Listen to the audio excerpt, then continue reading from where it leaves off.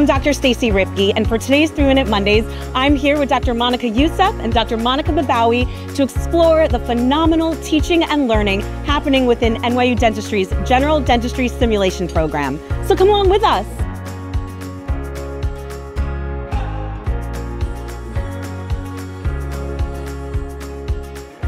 The General Dentistry Simulation Program is a one year long course that all of our D1 students take. In the fall, it's dental anatomy and occlusion, and in the spring, it's single tooth restoration. Students take weekly didactic lectures and spend three days a week in the lab practicing their hand skills. Students also learn the fundamentals of operative dentistry. Students learn the importance of self assessment because we believe that skilled practitioners continuously seek ways to improve and reflect on their skills. This course is the Introduction to Dentistry. We teach you the language of dentistry. There is a huge change in the students between day one of the first year and the last day in the first year. This course impacts students for the rest of their lives. We're grouped by academic societies, which is really nice because we're with these people for the four years that we're here.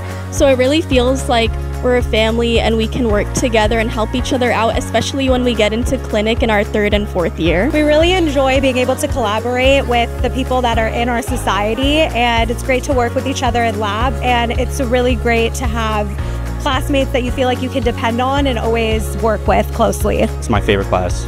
It really helps us like understand the concepts of how to actually apply the science that we learn in didactic and manually apply it to our models and hopefully to our patients in the future. So overall, it's like a really important class and builds the foundation for D2, 3, and 4. Reflecting back on when we started in July and starting now, it's an extreme difference. You know, my preps are a lot better. The faculty members, I learned so much from them, so much from lecture, so much from lab.